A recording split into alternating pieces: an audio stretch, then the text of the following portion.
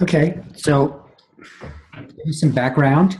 Uh, go into more detail of what we, we were talking about. So, 13 colonies, colonies of Great Britain. They are established under various and different legal authorities from the King of England. Um, it's a total, there's about two and a half or three million people, um, relatively prosperous. Um, there's a lot of heterogeneity. Um, they're huddled on the eastern seaboard, and water travel is a is a way they um, they're relatively prosperous by 1750 to 1770 standards, but they're rel- they're poor by our standards today.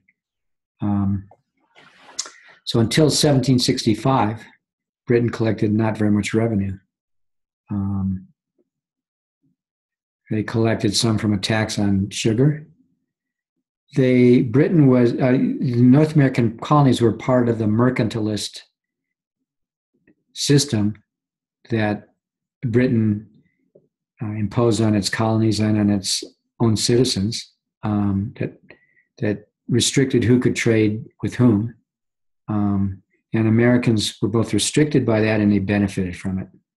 Um, and there was restrictions in particular on American shipping. Um, those are called the Navigation Acts, if you want to Wikipedia them. Um, during the 18th century, as we mentioned, Britain fought a number of costly wars, and they were destined to fight another one in our War of Independence. Um, this one is very significant. The um, the French and what's called the Seven Year Wars and the French and Indian War, that had a big effect on the United States because um, we acquired um, Britain and the colonies acquired new west territories in the west in Ohio and the north, what was called the Northwest. Um, so big parts of um, the Midwest were conquered from the French in that war. So that cost a lot. It ultimately benefited the United States a lot. The question is who's going to pay. So the the public debt to GDP ratio in Britain uh, grew a lot.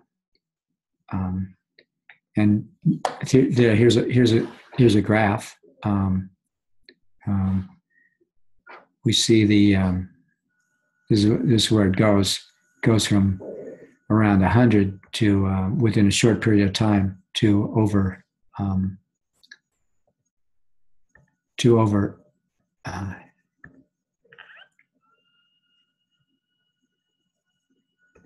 to over 150% of GDP, a substantial increase. So Britain was interested in in having some of the beneficiaries of this war um, help help pay for this um, big increase in government debt.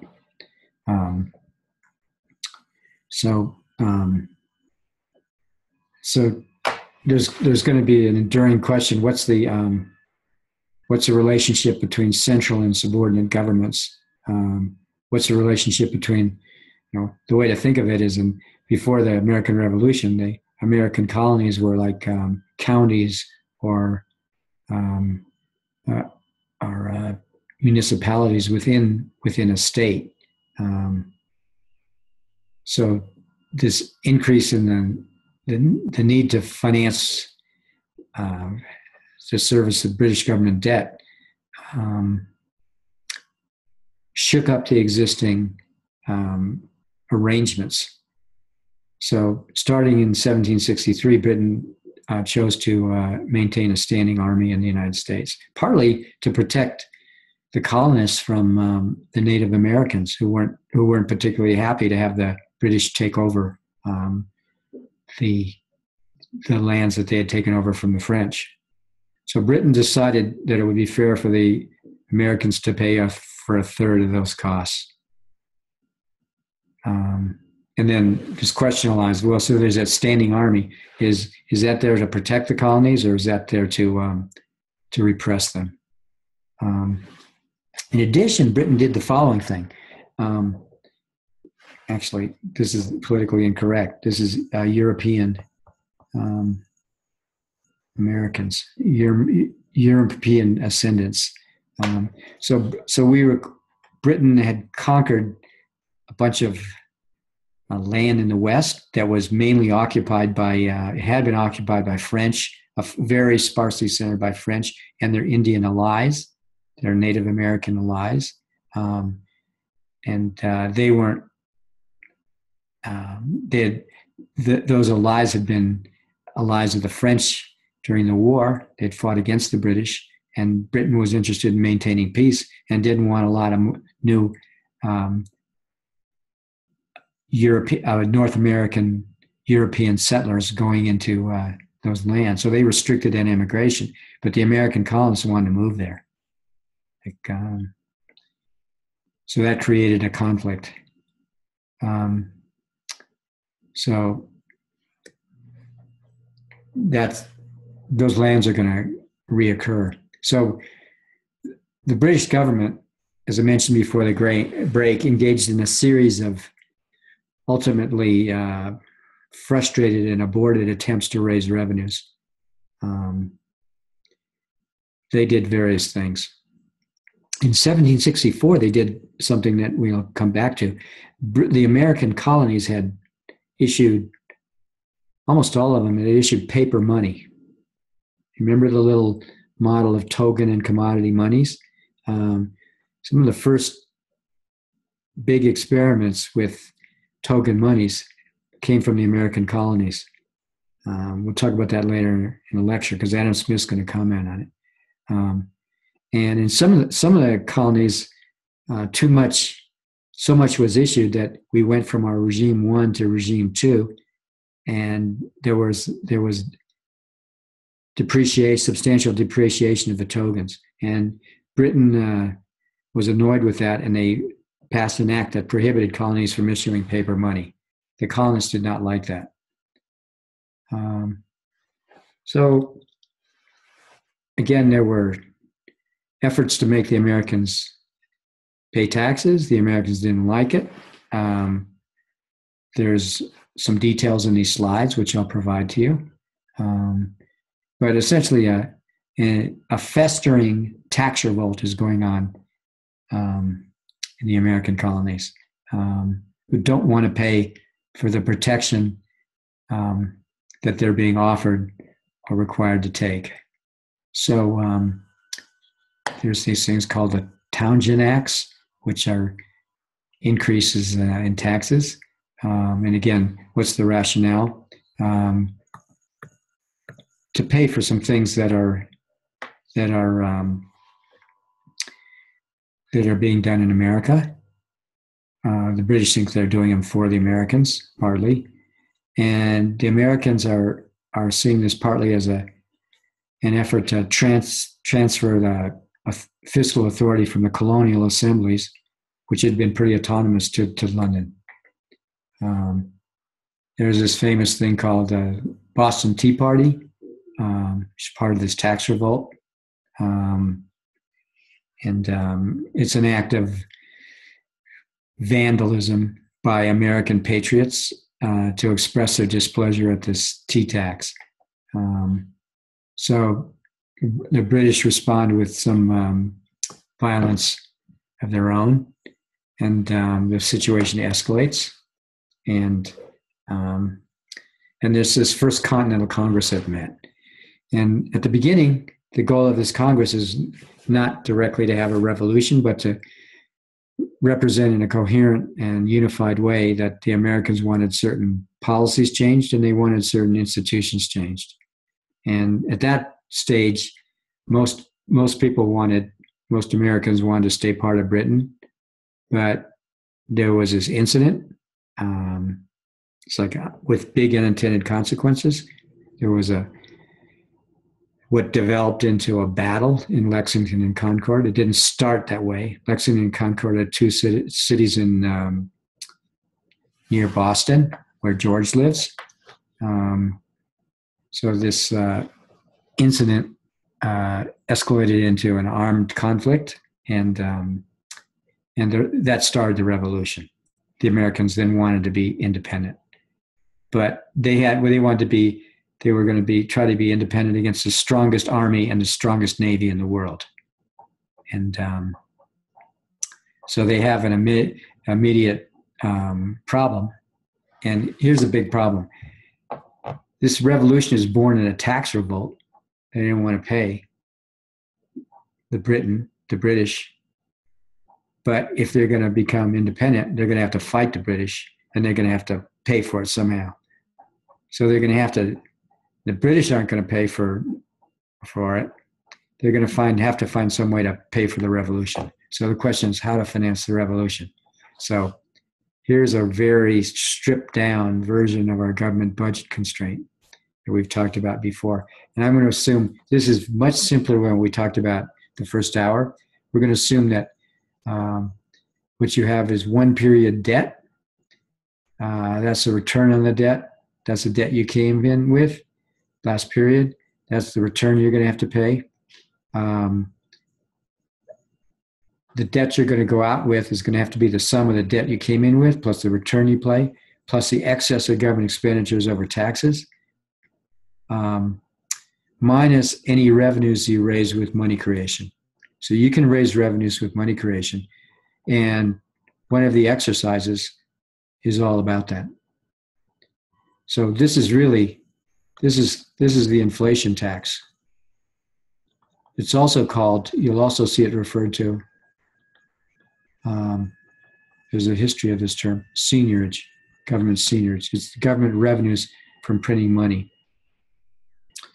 So the government's options to finance government expenditures, which it has to do, it can tax now. I can move this to the other side. It can borrow or can print money. And what we're going to see is what fraction of these various choices the Continental Congress took. So now the question, the question, big problem is who are you going to tax? Um, and the question is, and if you're going to borrow, who, who are you going to borrow from? Um, because prospective lenders, they want to know who's going to borrow. The Continental Congress and the individual states, the new 13 states are going to borrow. Um, but if they're going to, here's our equation the value of government debt today is the discounted present value of government surpluses. So government creditors are looking, um, you know, if they're going to be paid, if they're if they're not just giving charity, but they're actually lending in return for a stream of payouts. This, the backing of those payoffs are government surpluses. So um, this is the equation that says you can, if you borrow today, it's a signal you're going to tax more than you're going to spend tomorrow. So the question is, who's going to accept Continental Congress's IOUs as payments for goods and services? This, this is the central question. So Congress tried all of these things. Um, and we'll show you some numbers on what they tried. And what they're doing is they're improvising. Um, you know, the revolution is 1776, and that's the date that Adam Smith's Wealth of Nations was published. And among members of the Continental Congress were intellectuals um, who read things and like that and thought about them. Um, so, so how could you how could you tax? Um, well, actually, there's um, we all talked about the French Revolution. There's something left out of here. We can uh, of this list you can uh, expropriate and sell. Okay, so um, one is you can, what the central government can do is it can ask for contributions from the states. What it can do also, it can, uh, and some of the things that the states will, how are the states going to get the revenues? They're going to have to tax their citizens. And what a number of states did is they, they nationalized lands from people owned by people who were they had titles to the property, but they were loyal to Britain. They were called Tories. So one state after another, that's a Tory. That's someone. That's someone who is a citizen of one of the states, but is loyal to Britain. And those people were regarded not as patriots by the people who were pulling off the revolution, and there were lots of them. The state governments grabbed their lands and then sold them off to, to raise revenues. That's one big source. Um, there are some patriots who are who are making gifts to the central government, to the Continental Congress. Um, there's ways of selling public goods. There's privateering. If you go to the United States Constitution, it says that only the Congress can issue letters of marque. Go look up letters of marque. What that is is you have a sh- you have a boat.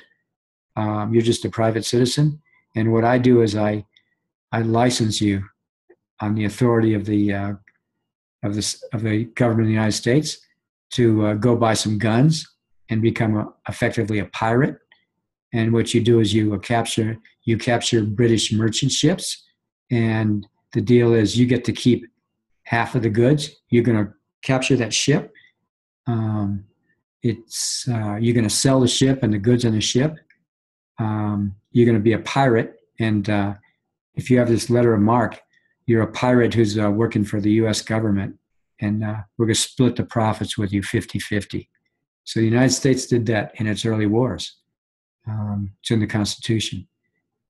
The other thing it did is it leveled the inflation tax. We've already talked about. It issued these things called continental dollars and they have a name called bills of credit. Um, we'll come back to that. Um, so continental dollars and bills of credit are going to become words of um, disrepute. And then the government borrowed. So it taxed, it levied this inflation tax, and it borrowed. It borrowed domestically from its uh, various citizens, and, and we'll spend some time talking about that. Um, George is doing a lot of research on this, which is fascinating. We also borrowed from some foreigners, and we got gifts from some foreigners um, from France. And um, I showed you the French budget. Uh, France is lending to the United States, um, and uh, because it wants to, it, the fiscal crisis that I told you about in France is um, is dependent, is interrelated to they're helping the United States. Okay, so um, I've told you about lotteries, Continental Congress requisitions. Um, what's missing from that list? Uh, robbing Tories, grabbing their land and selling it. So the French government knew that we did that. Remember, I told you this is all going on in 1776 to 1780 when we're doing this. The French Revolution starts in 1789, and they knew that the Americans had raided revenues by, um, by expropriating and selling off land. So I told you what they did with the church uh, lands. So, um, um, okay. So now I'm going to tell you what bills of credit are. This is going to be, remember our little model? We had S, bar minus S as some money, um, plus um, we had we had this equation E S bar minus S plus M over P is equal to K times C from a few weeks ago. Um, bills of credit, that's going to be our M. And um, so, what's kind of the monetary regime? So, if you went back in the time of the revolution, um, there's lots of there's lots of uh, coins circulating in the United States. There's silver coins and gold coins, and they're from different countries. Lots of them are from Spain or Mexico, because there was uh, there were silver mines in in Peru and uh, Mexico, and there were mints in Mexico, and Spanish uh, silver was minted into coins that uh, maintained their silver value for for centuries. And um, basically, the dollar was widely used. The Spanish dollar was widely used as a unit of account in the currency, and it will be the unit of account that's used throughout the revolution. And those things are circulating. So what the so for us, S bar minus S, uh, that's silver uh, dollars circulating, and E is that exchange rate. Um, so the Continental Congress in 1775, they authorized things called bills of credit. They're called continental dollars. Um, so I mentioned that American, this wasn't a new thing, that the, the uh, individual colonies had actually issued bills of credit, that paper money, and that 1864 law, uh, 1764 law, um, prohibiting those. The British government said a 1764 it limited, restricted the uh, colonists' ability to issue bills of credit because they had generated some depreciation. Uh, one thing that happened with the Declaration of Independence is we didn't have to obey that anymore. So all the American colonies, the American states started issuing bills of credit of their own, and so did the central government. Um, actually, some of these, okay, so remember I had regime one and regime two in that small open economy? Now, some of these, the successful ones, they stayed in regime. Um, they stayed in regime one. So those are the ones that slide they they sustained good reputations. They weren't all failures. Um, some worked quite well. So in 1775, get back to the theme, a dollar meant a Spanish milled dollar. That's what it meant. Um, ultimately, one a little earlier, Spain and Austria were united under one kingdom, and the word dollar comes from thaler, an Austrian word. Okay, so that's a Spanish milled dollar. There they are. Okay, so guess what? That's this one. That's a Spanish dollar. It's silver dollar. It's got a certain amount of silver. That's guess what this is? That's a half dollar. So how do you create a half dollar from a, a dollar?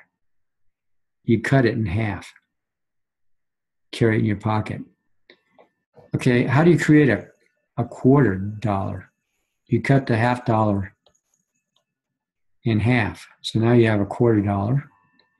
And now there's this famous phrase, pieces of eight.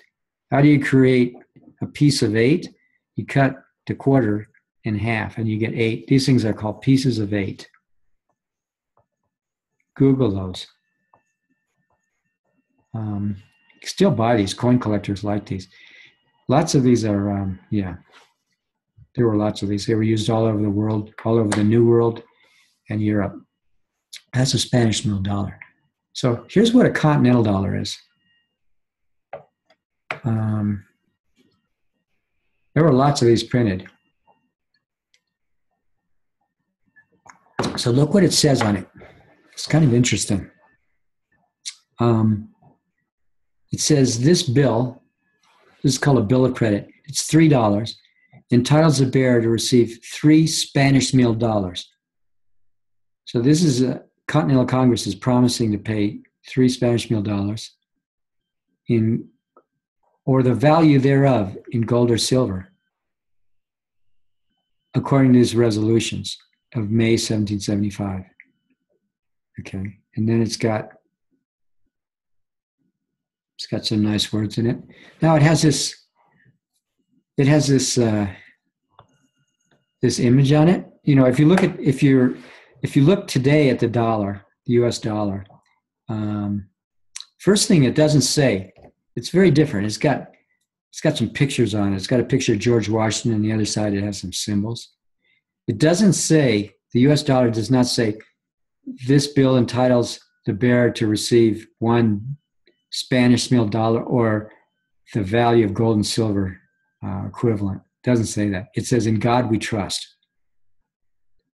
No promise to convert it into anything. It's inconvertible. This was supposedly convertible. Instead of George Washington, we have this thing on it.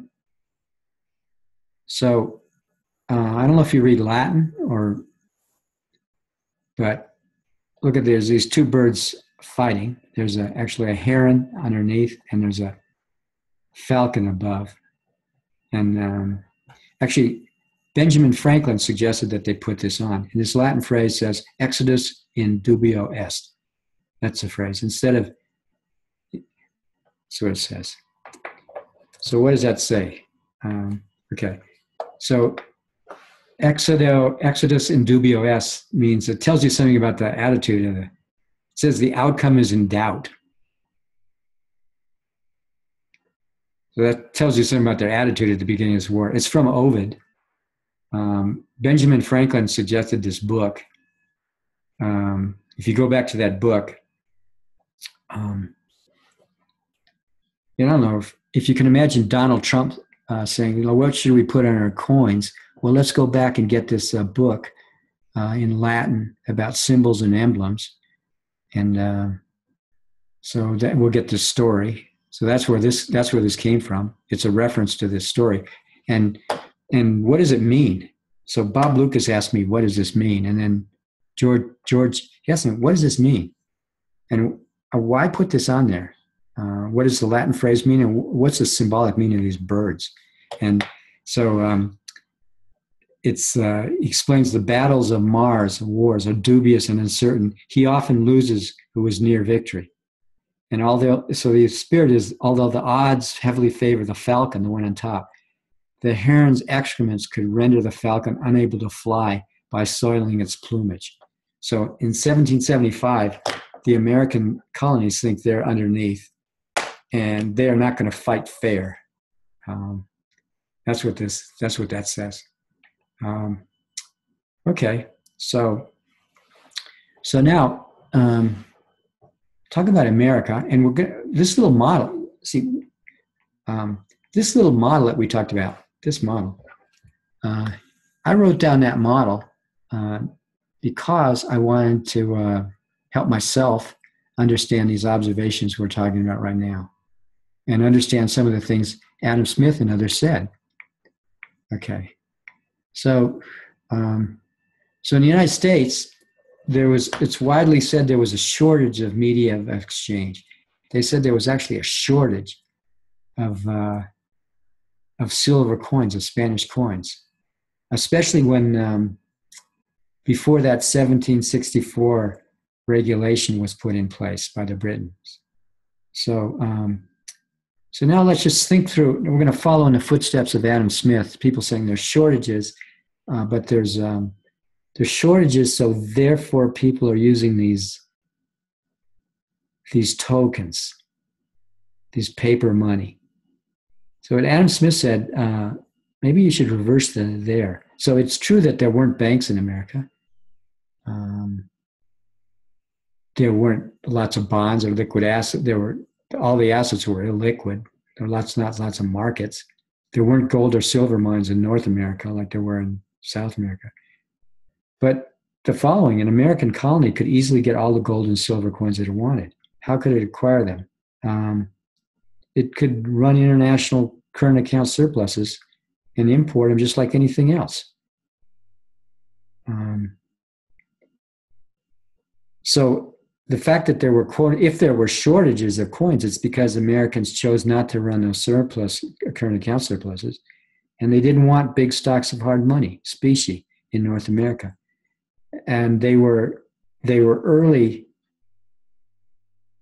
recognizers of the insight of David Ricardo. So let's go to Adam Smith, um, what he says. He says, um, the present scarcity of gold and silver money in America. Now he's writing this, when he wrote this, takes a while. He published the book in 1776. So this book is, uh, this is written before he knew there was a revolution, at least this part. He says the present scarcity of gold and silver is not the effect of the poverty of the country or of the inability of the people there to purchase those metals. Um, so he says the wages of labor are much higher in Brit in, in the United in in the colonies.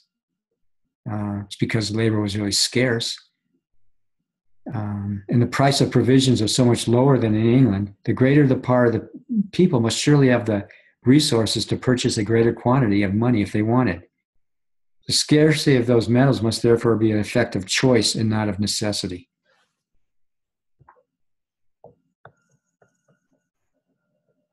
Just one of many, many examples showing you what a clear economic analyst Smith is. And he says this the domestic business of every country may, at least in peaceful times, be transma- transactioned by means of a paper currency with nearly the same degree of conveniency as by gold and silver.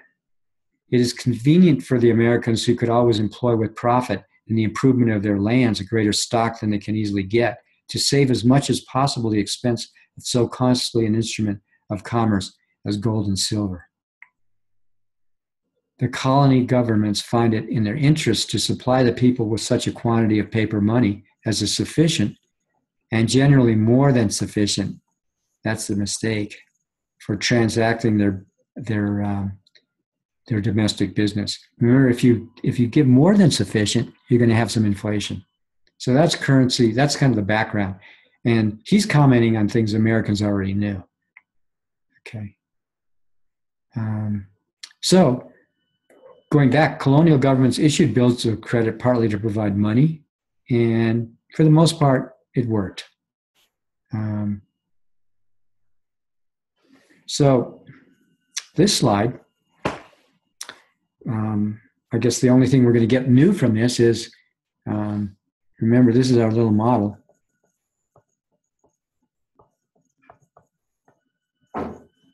Um, that we had a couple lectures ago. Um, this stuff is called specie.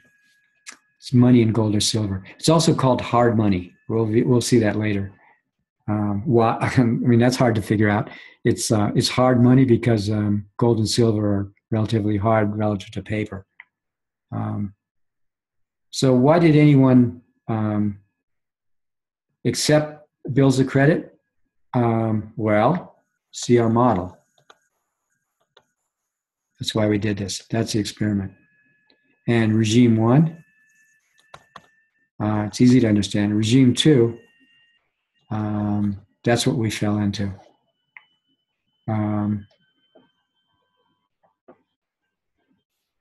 okay, so um,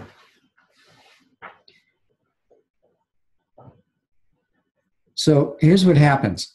Uh, Congress um, issues these bills of credit, and um, me show you a picture of it. Um, so states um, states were asked to accept these bills of credit in payment of states' taxes, and they they were asked to return um, those bills of credit to the Continental Congress after they had collected them as taxes, and Continental Congress promised to burn those bills of credit. Promised to burn them. Remember, I told you this um, story about France. Um, where they did exactly the same thing, and for a while they kept the promise. Um, now, Congress has harsh words um, eventually for people who um, who won't accept those bills of credit. Now, you'll notice in our little model, you don't need harsh words. The equilibrium of that little model was those that M was as good as it was as good as silver or gold if it wasn't if too much wasn't issued but the continental congress it's not people's loss to all virtue in regard to his country that's not what did it. It's that the congress issued too much. Um, okay so congress there's kind of a number.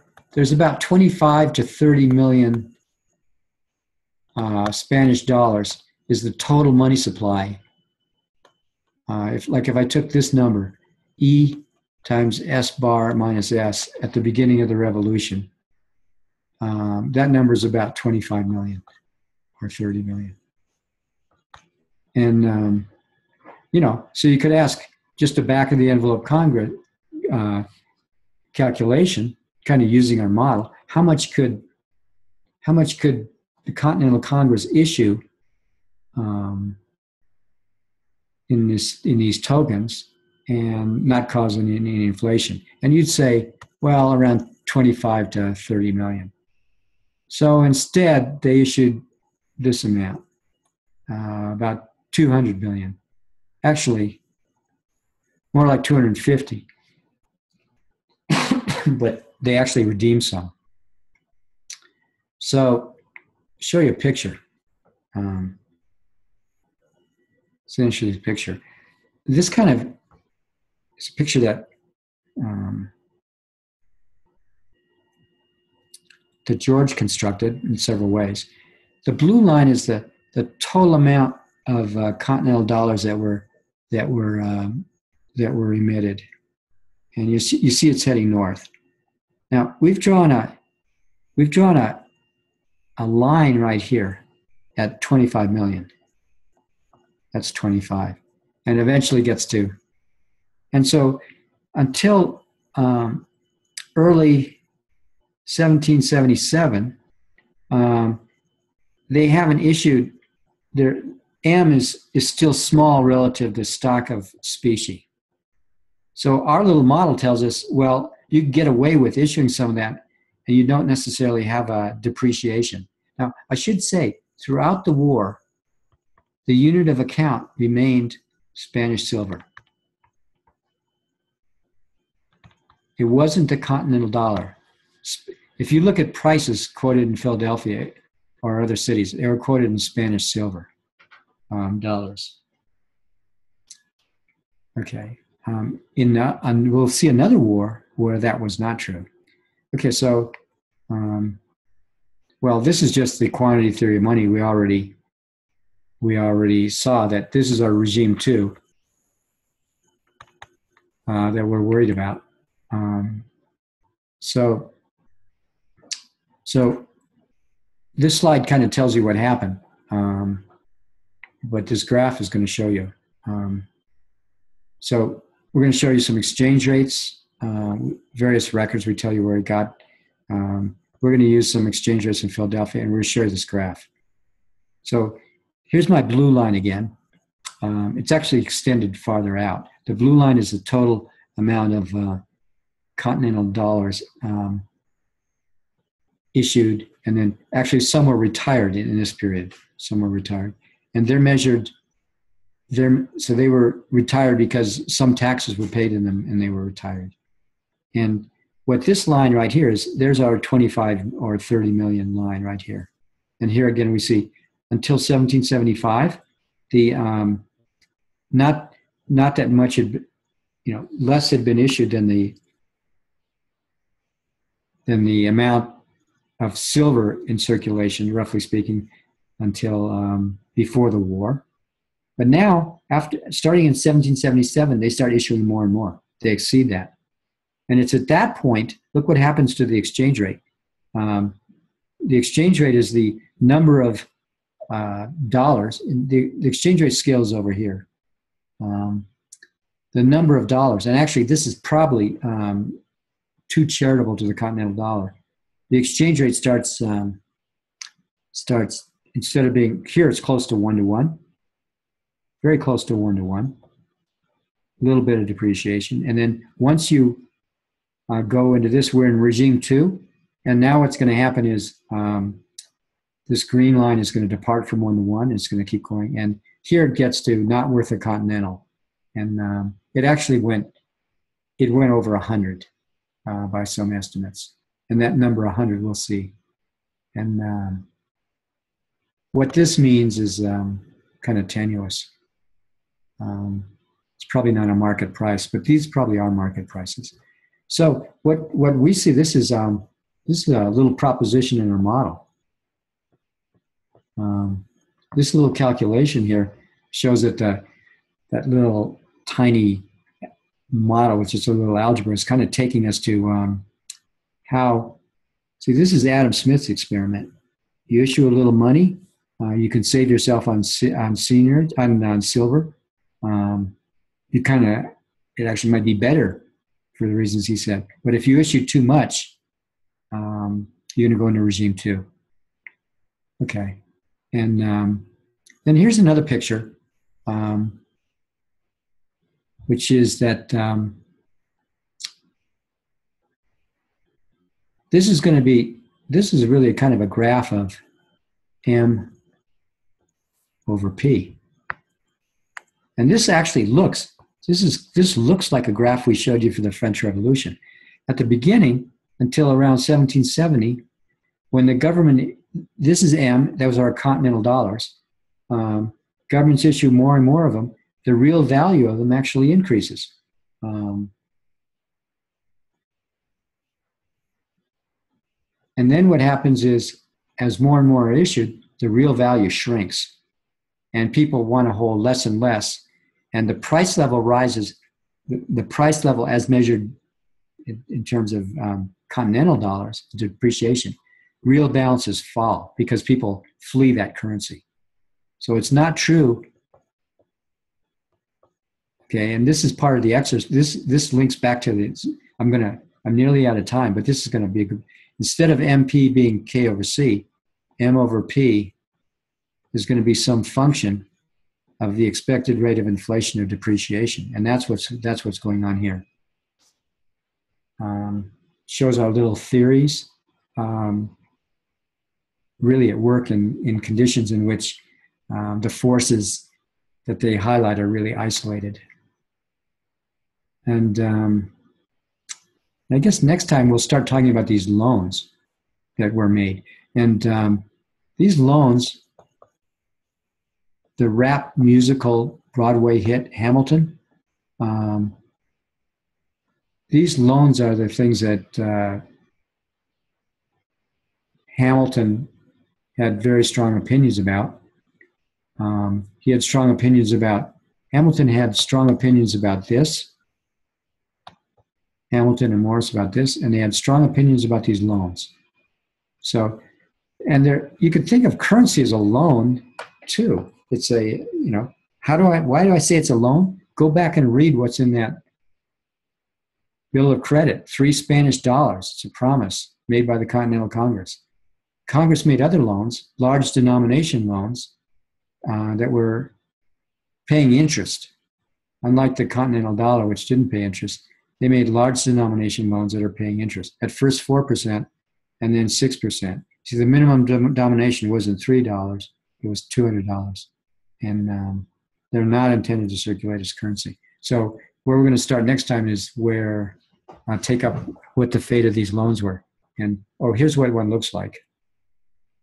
Um, so, I'll show you some of those.